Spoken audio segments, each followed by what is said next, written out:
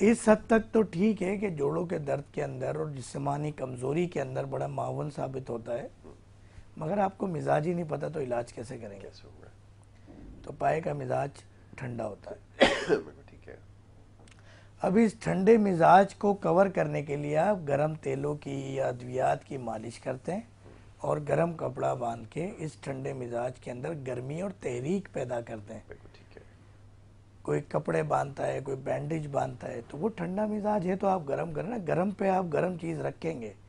For example कुछ लोग complain कर रहे होते हैं कि जिसम तप रहा है या पेट में गर्माइश हो रही है तो आप उसको ज़्यादा कपड़े पहना दो घबराहट हो जाएगी वो बोलेगा निकाल दो। बिल्कुल ऐसे तो आप गर्माई पे मजीद गर्माई को नहीं प्लान कर सकते वो फिर नुकसान करती है और रैशेस हो जाते हैं दाने हो जाते हैं जिसम में अगर गर्मी का मर्ज है तो। ठीक है तो ये सर्दी का मर्ज है पहले तो ये समझना होगा ना सिर्फ़ हमारे नाजरीन को बल्कि तमाम उन तबीबों को जो इस वक्त ज़िम्मेदारी लिए हुए हैं और अल्लाह जी के अल्लाह जी ने अपना नाइब उन्हें बनाया है इस दुनिया के अंदर। तो उन्हें थोड़ा सा अपने किबलों को दुरुस्त करना बहुत ज़रूरी है।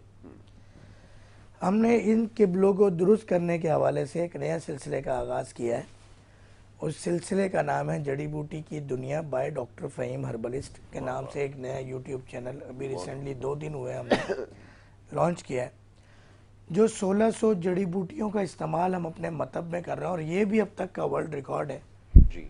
कि पूरी दुनिया में कोई भी हर्बल फार्मा हकीम कोई भी दुनिया का बंदा ज़ाती हैसियत से या कंपनी की हैसियत से इदारे के हैसियत से 1600 जड़ी बूटियों पर बेक वक्त काम नहीं कर रहा ना उन पर रिसर्च कर रहा है ना उनकी अद्वियात बना रहा है।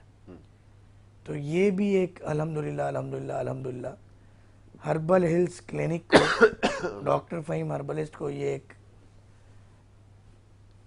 इनफरादियत मुनफरद और यूनिक है हम इस हवाले से। और ये